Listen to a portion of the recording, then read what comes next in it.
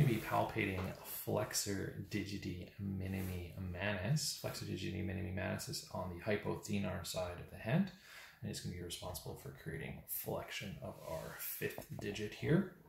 We're going to be starting off at its origin.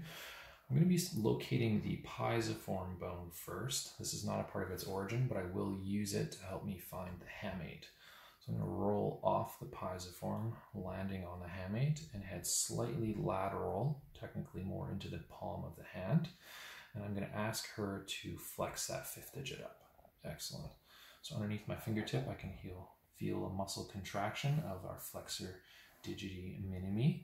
Its secondary attachment is here along the flexor retinaculum. So we have a soft tissue attachment as well as bony attachment.